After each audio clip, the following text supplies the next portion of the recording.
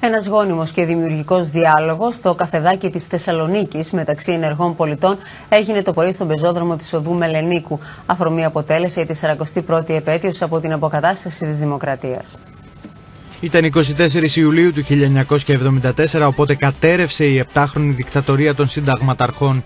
41 χρόνια μετά στη Θεσσαλονίκη, με αφορμή την αποκατάσταση της δημοκρατίας στη χώρα, μια ομάδα πολιτών συζητά εν είδη συμποσίου για τη δημοκρατία των πολιτών στον 21ο αιώνα και τις προοπτικές της. Ήταν πιο ελληνικό, σαν συμπόσιο ας πούμε, και αυτό μας επιτρέπει να το κοιτάξουμε με μια χαλαρότητα η οποία είναι υποχρεωτική πριν σκεφτούμε για να περάσουμε μετά σε δράσεις οι οποίες αυτές είναι καταδρομικές με την έννοια ότι όταν αρχίζει η δράση πρέπει να γίνεται ως το τέλος της αποστολής. Αλλά από πριν πρέπει να το σκεφτούμε και να το σκεφτούμε και δημοκρατικά αλλά από πριν για το μετά και όχι μετά για το πριν.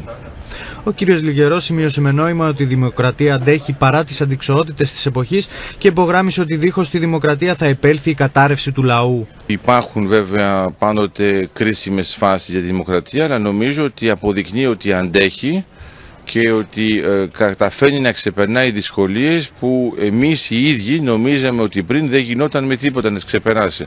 Άρα έχει αυτή τη δομή της ανθεκτικότητας που της επιτρέπει να ξεπερνάει τις δυσκολίες, να, όχι μόνο όμως να επιβιώνει, να τις βιώνει, να γίνονται βιώματα και όχι μόνο εμπειρίες, ξέρετε οι εμπειρίες είναι το συνοθήλευμα από τα λάθη. Αν λειτουργήσουμε με άλλα καθεστώτα που δεν είναι δημοκρατικά, τότε θα είχαμε μια κατάρρευση όχι μόνο μιας πολιτικής δομής που αυτό μπορεί να είναι και ωφέλιμο μερικές φορές, αλλά κατάρρευση του λαού. Είναι εντελώς διαφορετικό. Άρα εδώ σιγά σιγά νομίζω ότι ε, υπάρχει ένα πλαίσιο αναδίπλωσης. Περάσαμε πολύ δύσκολες ώρες, ε, το ξέρετε και εσείς ως δημοσιογράφοι, ακόμα και μετά περάσαμε σε δύσκολες μέρες.